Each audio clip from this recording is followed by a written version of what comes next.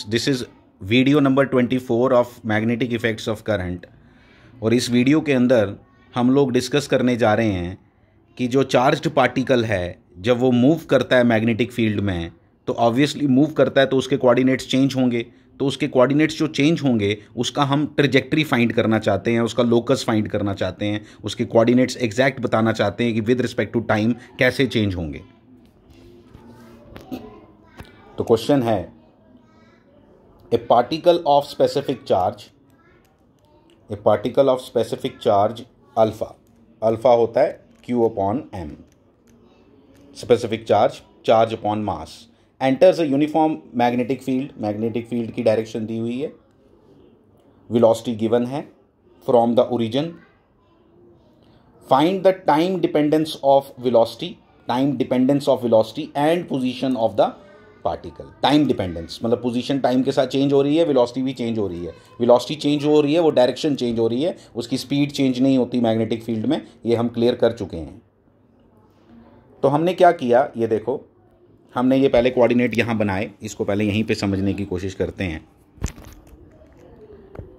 ये हमारी x axis और वाई एक्सिस और एक और बात ध्यान रखना है आपने, कि जिस एक्सिस पे आपको मैग्नेटिक फ़ील्ड दिया हो, उसके परपेंडिकुलर प्लेन में सर्कल बनता है। यानी कि ये जेड एक्सिस के लॉन्ग है, यानी एक्स वाई एक्सिस में आपका सर्कल बनेगा, ये डन है। ठीक है? पहली बात तो कहाँ बनेगा वो भी बताता हूँ।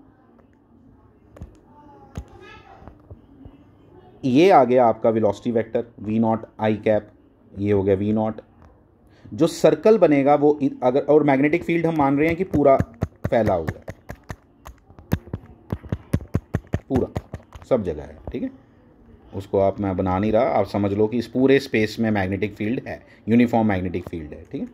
तो जो सर्कल बनेगा, वो ध्यान देना है आपने, पहली बात ये कि क्रॉस है। माइनस के कैप है तो माइनस के कैप का मतलब हुआ कि मैग्नेटिक फ़ील्ड अंदर है। फ्लेमिंग्स लेफ़्ट हैंड रूल लगाओ, या क्रॉस प्रोडक्ट पे कमांड है, वो लगाओ, और आप रिज़ल्ट बनाओ फोर्स कहाँ लगी।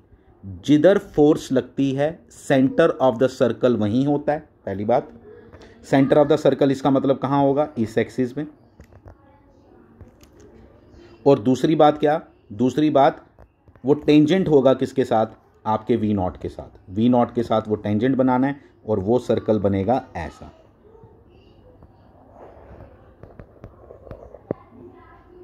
ये बनेगा आपका सर्कल उसका सेंटर होगा यहाँ।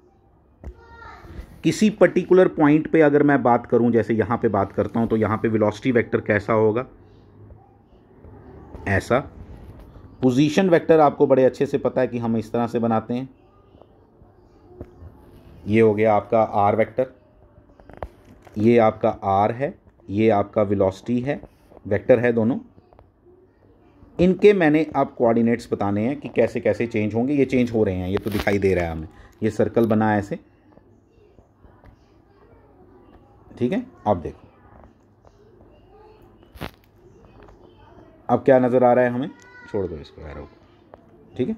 अब क्या नज़र आ रहा है हमें? अब इसके कोऑर्डिनेट पता लगाने, आप देखो वी के, अब मैं एक चीज़ और बनाता हूँ। यहाँ पे वी का मैं एंगल थीटा ले लेता हूँ, ये वाला। If we take this as angle theta ये एंगल 90 है। टेंजेंट के साथ हमेशा एंगल 90 बनता है रेडियस का। ये 90 माइनस थीटा हो गया। और ये फिर से थीटा हो गया क्योंकि ये 90 है। ठीक है? तो क्लियरली नज़र आना चाहिए आपको कि कौन कौन सा एंगल थीटा आएगा। ठीक है? तो मैंने आपको बता दिया।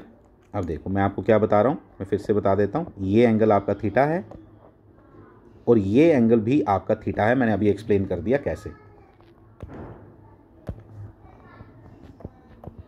ठीक है? ये आपका आर ये आपका वी मैंने ये सेम डायग्राम पीछे बना के दी हुई है। ठीक है? ये आ गया आपका जो डायग्राम मैंने बनाई, ठीक है? ये आप इधर वी वेक्टर लिख दो। ये आपका वी वेक्टर है, जिसकी वैल्यू आपको गिवन है।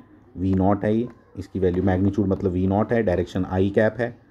फिर ये फोर्स की डायरेक्शन है, ये भी मैं बता देता हूँ आपको, ठीक है? बनाने की ज़रूरत नहीं भी है। सेंटर ऑफ़ द सर्कल आपको मैंने बता दिया ये है। टेंजेंट जाएगा किसके साथ? वेलोसिटी के साथ, ये भी पहले बताया था। अब मैंने कोऑर्डिनेट जो पता लगाने हैं, वो देखो मैं लिख रहा हूँ यहाँ पे। तो v इक्वल टू क्या बना? वी एक्स आई देखो वी वेक्टर इक्वल टू बना v cos theta i plus v sine theta j बन गया। Theta equal to omega t होता है। बाद में बात करते हैं। आर देखो आर किसके बराबर बना? आर का ये और ये कंपोनेंट है, ठीक है? ये कंपोनेंट और ये वाला कंपोनेंट ये वाला कंपोनेंट की पहले बात करते हैं क्योंकि आई कैप वाला और ये जे कैप वाला। तो आई कैप वाला कंपोनेंट थीटा के सामने वाली साइड थीटा के सामने वाली साइड साइन होती है। तो इसलिए क्या बना? R sine theta i cap plus अब ये चाहिए मुझे।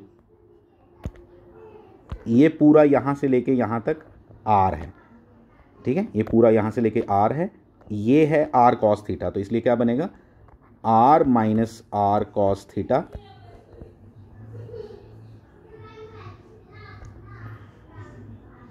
r minus r cos theta j cap ठीक है? ये एक्चुअली मेरे को ये बताना था आपको यहाँ, एक चीज़ मैं गड़बड़ कर रहा हूँ। ये आपका सेंटर से जो आएगा ना, यहाँ से ओरिजिन से, ये आपका आर है। ये आपका आर है। ये थीटा यहाँ लिखने की कोई ख़ास ज़रूरत नहीं है, ठीक है? आर ये आएगा तो उसी हिसाब से हमने निकाल लिया बेसिकली अगर ये ये आर है तो तो इसका जो ये वाला कंपोनेंट है, ये तो हो गया जो इसके बराबर, ठीक है? ये इसके बराबर। और ये जो आया, ये किसके बराबर आया? कौन सा वाला? ये वाला। ये किसके बराबर आया? आप ध्यान से देखो किसके बराबर आया? आर टोटल है आर और माइनस ये वाला, ठीक है? तो r minus r cos theta ठीक है? वो मैंने लिख के रखा हुआ है, घबराने की कोई ज़रूरत नहीं है। ये देखो। R minus r cos theta कैसे आया वो आपको बता दिया। देखो आर वेक्टर ये एक चीज़ मैंने गड़बड़ लिखी है यहाँ, ये आर वेक्टर यहाँ नहीं लिखना आप। यहाँ से यहाँ आप ज्वाइन करोगे ना जब दिस इज़ आर वेक्टर ठीक है? वो नहीं लिखना। दिस इज़ आर वेक्टर ये जो मैंने रेड कलर में बनाया ना, इसको आर वेक्टर लिखना प्लीज़ ये मैंने गलत लिखा था, यही नहीं है आर वेक्टर हाँ होगा ये भी आर के बराबर, लेकिन ये आर वेक्टर नहीं है। ये आर वेक्टर नहीं है, इसको आर वेक्टर नहीं लिखना आर लिखना वेक्टर हटा देना इसका। इसका वेक्टर हटा दो, इधर सिर्फ़ क्या लिखो आर आर वेक्टर कहाँ है फिर? इसके ओरिजिन से ये ये वाले पॉइंट से, इधर तक इसको बोलेंगे r r vector this is r vector please mind it हाँ? मैंने सेंटर से नहीं सेंट ये वाला, ये आर वेक्टर है। इस आर वेक्टर की वैल्यू ए कंपोनेंट ये ये इसके बराबर है। और ये किसके बराबर है? अभी बताया मैंने साइन थीटा ये टोटल आर है, लेकिन मुझे ये चाहिए। मुझे तो सिर्फ़ ये चाहिए। मुझे तो इतना पोर्शन चाहिए बस। तो ये टोटल आर में से ये माइनस कर दिया। ठीक है? हो गया। अब देखो। यहाँ से निकाल ली आर वेक्टर आर वेक्टर की वैल्यू आ गई ये वाली। उसके बाद ये आ गया आपका वी एक्स वी आई मैंने लिखा मैंने, लेकिन बाद में मैंने लिखा है इसको उसमें। आर की वैल्यू देखो, ये होती है। मैंने याद रख ली हुई है m v upon q b फिर उसने बोला, लेकिन क्यू और उसने टर्म्स में नहीं अल्फ़ा की टर्म्स में निकालना है क्वेश्चन में लिखा हुआ है। वी की वैल्यू वी नॉट है। वी यहाँ पे स्पीड होती है, मैं बता देता हूँ आपको स्पीड चेंज नहीं होती थ्रू आउट स्पीड चेंज नहीं होती, मैं आपको एक और बात बता देता हूँ कि यहाँ पे आपको ये वी वेक्टर दिखाई दे रहा है। ये वी वेक्टर डायरेक्शन चेंज हो गई है। आई कैप नहीं रही इसकी डायरेक्शन कहाँ आई कैप अब? एक्स एक्सिस के लॉन्ग का है? लेकिन जो इसका मैग्नीट्यूड था ना वी नॉट वो मैग्नीट्यूड अभी भी यहाँ पे भी मैग्नीट्यूड कितना है? वी नॉट लेकिन ये नहीं मालूम कि इसकी डायरेक्शन क्या है। ठीक है? अब देखो, ये समझ आ गई बात। फिर यहाँ से हमने लिखा वी नॉट अल्फ़ा की टर्म्स में लिखा तो अल्फ़ा की टर्म्स में बन गया v naught upon alpha alpha b ठीक है? अल्फ़ा बी क्योंकि क्यू अपॉन एम किसके बराबर होता है? अल्फ़ा के। फिर टी इज़ इक्वल टू आ गया टू पाई आर अपॉन ये ये मैंने बताया हुआ सब टाइम पीरियड टाइम पीरियड से मैंने ओमेगा निकाल लिया थीटा जो हम बार बार यूज़ कर रहे हैं हर जगह, यहाँ पे यहाँ पे भी करना है वी में तो थीटा की वैल्यू कितनी लेनी है? ओमेगा टी ये आपको याद होना चाहिए theta equal to omega t होता है, ठीक है? ये पढ़ा हुआ है हमने सर्कुलर मोशन रोटेशन मोशन में तो ये ये आ गया आपका ओमेगा ये ओमेगा ओमेगा टी ठीक है? ये हो गया आर आर की वैल्यू मैंने लिखी है ऊपर, ये आर ओमेगा टी की जगह ये डाल दिया, ये भी वैसे ही लिखना है, ये भी वैसे ही लिखना है, देखो देखो। ये, इसके दो कंपोनेंट एक वी कॉस थीटा और एक वी साइन थीटा उसी तरह से मैंने यहाँ लिख के ये भी लिख दिया। थीटा की वैल्यू वही डाली है जो मैंने पहले से लिखी है। ठीक है? तो ये आपका यहाँ से ख़त्म होता है क्वेश्चन ठीक है? और ये अच्छा क्वेश्चन है, इसको बहुत अच्छे से सीखो। मैंने इस पर एक दो क्वेश्चन और कराऊँगा आपको, उससे और क्लैरिटी आएगी। Thank you very much